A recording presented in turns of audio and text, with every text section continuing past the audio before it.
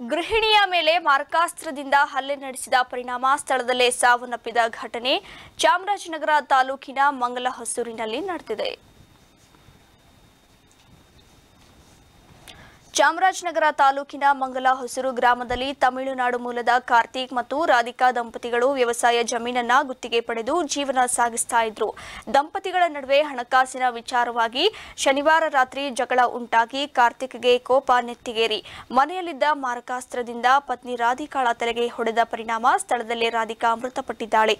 ಪತಿಯೇ ಪತ್- ಪತ್ನಿಯನ್ನ ಹತ್ಯೆ ಮಾಡಿದ ಸುದ್ದಿ ತಿಳಿಯುತ್ತಿದ್ದಂತೆ DySP Lakshmaiah Santhemarahalli inspector Basavaraju, sub inspector Tajuddin, Hanumanth Uppar ಸ್ಥಳಕ್ಕೆ ಭೇಟಿ ನೀಡಿ ರಾಧಿಕಾಳನ್ನ ಹತ್ಯೆ ಮಾಡಿದ ಪತಿ ಕಾರ್ತಿಕ್ನನ್ನ ವಶಕ್ಕೆ ಪಡೆದುಕೊಂಡು ತನಿಖೆ ನಡೆಸುತ್ತಿದ್ದಾರೆ. ಮೃತ ರಾಧಿಕಾಳ್ಗೆ ಆರು ತಿಂಗಳ ಮಗುವಿದೆ.